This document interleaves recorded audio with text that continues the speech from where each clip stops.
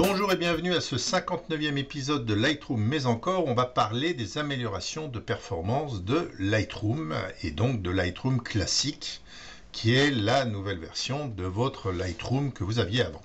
Il y a maintenant quelque chose qui s'appelle Lightroom CC, mais c'est un autre logiciel plus orienté cloud. Là, on va regarder Lightroom classique, qui est celui que j'utiliserai dorénavant.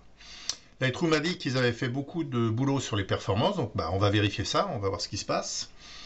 Euh, avant toute chose, on va regarder ma configuration. Alors, je suis en Windows 10, j'ai un processeur qui est le 5930K, c'est déjà une belle bête, dans le sens où elle a 6 cœurs, des choses actuelles comme le 7700 n'en a que 4, et euh, c'est quelque chose que j'avais pris puisque ma station, je voulais faire de la vidéo avec et des logiciels comme Adobe Premiere utilisent bien euh, tous les cœurs, ce que Lightroom ne savait pas faire et que normalement il sait faire maintenant. Donc ça c'est important, j'ai quand même un processeur assez puissant. Ensuite j'ai 32 Go de mémoire, ça a priori euh, je vais pas aller au bout mais j'ai de quoi faire quand même. En termes de disque pour le test euh, que j'ai fait, donc j'ai un disque C ici qui est un, ce qu'on appelle un disque SSD M2. Donc c'est des choses qui vont trois fois plus vite qu'un SSD, on va dire standard. Donc c'est pareil, c'est une belle bête comme disque dur. Là-dessus, j'ai Lightroom, j'ai Photoshop, j'ai les fichiers cache. Et pour mon test, j'ai mis euh, tout ça sur euh, mon disque E, qui est un disque dur, on appelle ça hybride. C'est-à-dire que c'est un disque dur standard couplé avec un petit bout de SSD. Euh, j'aurais pu aller encore plus vite en mettant tout ça sur le disque F qui lui est un SSD. Mais là pour le test, euh, histoire que ça représente un peu plus la réalité de ce que les gens euh, peuvent avoir chez eux, j'ai décidé de faire le test sur ce disque E. Donc on va retourner dans Lightroom et on va voir le nombre de tests que j'ai fait. Donc j'ai créé un catalogue avec 200 photos à l'intérieur, d'accord? J'en ai fait une copie il y en a un, je l'ai ouvert avec euh, Lightroom normal, et l'autre, je l'ai ouvert avec Lightroom classique, euh, qui a converti euh, le catalogue. Et donc ensuite, j'ai effectué un certain nombre d'opérations. Dans ce catalogue que j'avais exporté à partir d'une collection, il n'y a pas d'aperçu, il y a juste les donc le premier test que j'ai fait, c'est simple, je suis allé euh, ici dans Bibliothèque, je suis allé dans Aperçus, et j'ai fait créer les aperçus 1.1, et j'ai demandé de créer ces aperçus 1.1 pour les 200 photos. Donc là, il n'y a pas trop de match, hein, euh, c'est-à-dire que l'ancien Lightroom, c'était 4 minutes 47, le nouveau Lightroom classique, c'était 1 minute 59. Donc ça va plus que deux fois plus vite. Alors la création des aperçus 1 à 1, c'est des choses qui vont être faites par exemple lors de l'importation de vos photos. Donc ça c'est important. Ensuite, de la même manière, je suis allé dans, bibliothèque, pardon, je suis allé dans aperçus et j'ai fait créer des aperçus dynamiques et ça je l'ai fait également pour les 200 photos. Là également, pas de match. Euh, il y en a un, il a mis 1 minute 48, l'ancien. Le nouveau Lightroom classique a mis 41 secondes. Donc là, c'était quelque chose qui était euh, assez intéressant. Ensuite, j'ai fait des choses un peu plus, euh, je dirais, simples, comme me déplacer en mode bibliothèque. Alors, me déplacer en mode bibliothèque, c'est simple. Je vais au début ici de mon film, je prends la première photo, puis j'appuie sur la flèche, et puis voilà, ça défile. D'accord? Donc ça, euh, ça va s'arrêter au bout d'un moment, hein, ça, va, ça va assez vite. Donc ça, l'ancien Lightroom ou le nouveau Lightroom, il n'y a pas une grosse différence. Euh, j'étais à entre 9 et 11 secondes, alors c'est pas forcément représentatif, c'est un temps quand même relativement faible, j'ai pas vu franchement euh, de différence. J'ai fait la même chose en mode développement. Donc je suis allé en mode développement de la même manière. Là, je suis retourné au début. D'accord, j'ai pris la première, j'ai appuyé sur ma flèche. Et là, bah, j'ai attendu qu'il euh, affiche euh, comme ça euh, toutes les photos. Alors ça va assez vite, mais ça va moins vite que dans le mode bibliothèque. Donc là, pour mes 200 photos, il y en a un, il a mis 1 minute 39 et l'autre, il a mis 1 minute 05. Donc là, on voit qu'il y a eu une amélioration qui est quand même importante. Ensuite, le dernier truc que j'ai fait, c'est que j'ai sélectionné toutes mes photos. D'accord? Donc je suis allé sélectionner là toutes mes photos en bas et j'ai décidé de les exporter.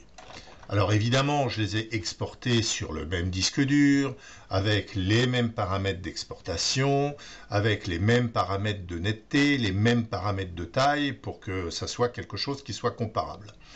Là, honnêtement, pas de différence. Hein. Dans un cas, j'étais à 1 minute 44, dans l'autre cas, j'étais à 1 minute 37. Mais il y a un autre truc aussi qui est important, c'est lorsqu'on développe la réaction des outils. Et là, il y a quand même quelque chose qui est intéressant. Donc, on va aller dans le Lightroom euh, ancienne version. Je vais vous montrer quels étaient mes problèmes. Et ensuite, on va retourner dans le Lightroom classique. Et on va voir si ces problèmes ils sont résolus. Donc là, je suis dans mon ancien Lightroom, hein, euh, on peut le voir, aide ici à propos de Photoshop Lightroom CC, c'était mon ancien Lightroom. Et euh, si on va dans les performances, ici, donc édition, euh, préférences et performance, je n'avais pas utilisé le processeur graphique de cocher. Pourquoi je n'avais pas ça de cocher? Ben, C'est très simple, c'est lorsque je fais des retouches locales, donc là je suis en développement, je vais faire une retouche locale, donc pour que ça se voit bien, je vais monter beaucoup l'exposition, débit 100%, très bien, et là vous voyez que, bon, si je peins, ça va, c'est tout à fait correct. Il n'y a pas de, souci euh, particulier. D'accord? Tout va bien. Je ne dois pas être au débit à 100%. Ah oui, voilà, c'est la densité. Là, j'étais pas à 100%, c'est pas grave. Donc, vous voyez, c'est jouable. Là, je suis en train de bouger ma souris. C'est pas mal. OK? Euh, Je vais faire réinitialiser. Maintenant, si je prends euh, avec le GPU activé, donc je vais dans Édition préférences et je vais utiliser le processeur graphique. OK? Et là, je vais reprendre tranquillement mon pinceau. Et là, c'est juste pas possible.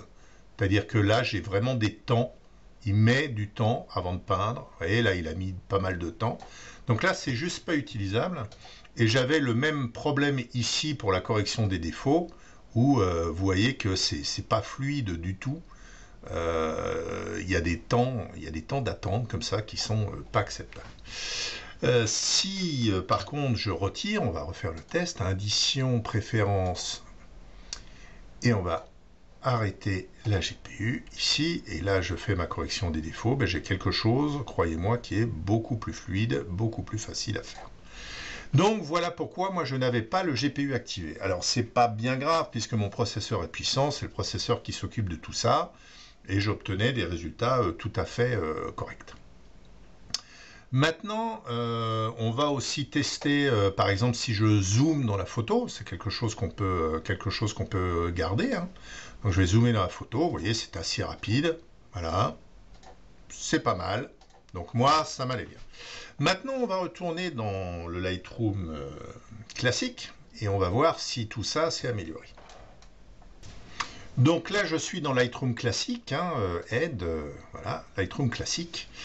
Et euh, je vais, là j'ai pas le, GPU qui est activé, donc édition préférence, le GPU ici n'est pas activé.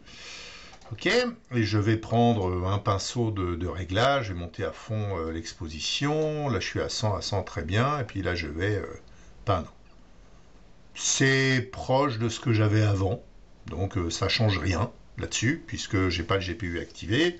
Et si je prends ici euh, les défauts de la même manière, c'est fluide, j'ai pas de, pas de soucis euh, particuliers.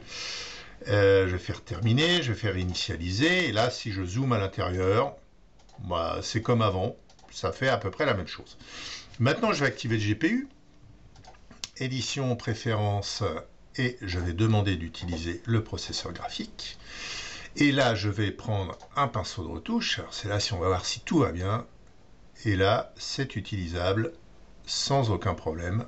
C'est même plus fluide que l'autre mode. Et de la même manière, si je prends ici la correction des défauts, c'est tout à fait utilisable comme l'autre. Donc ça, c'est très bien. Et si je fais un zoom dedans, là, c'est un peu plus rapide quand même que l'autre. Hein. Ça va plus vite. Donc j'aurais tendance à dire que c'est plutôt pas mal puisque euh, je vais pouvoir utiliser l'accélération GPU et ça va me fluidifier un peu euh, tout ça. Tandis qu'avant, comme c'était mon processeur qui bossait, ben, euh, c'était un peu plus lent qu'avec une bonne utilisation du GPU. Alors ma carte, vous l'avez vu, hein, euh, édition, préférence, c'est pas une carte de hardcode gamer, hein, donc c'est pas le top, mais c'est déjà une bonne carte. donc là, je suis très content de pouvoir l'utiliser.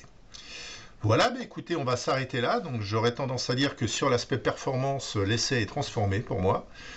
ça va vraiment aller un peu plus vite, me fluidifier un peu tout ça, et je suis plutôt content du résultat. Voilà J'espère que ça vous a plu. Merci, au revoir.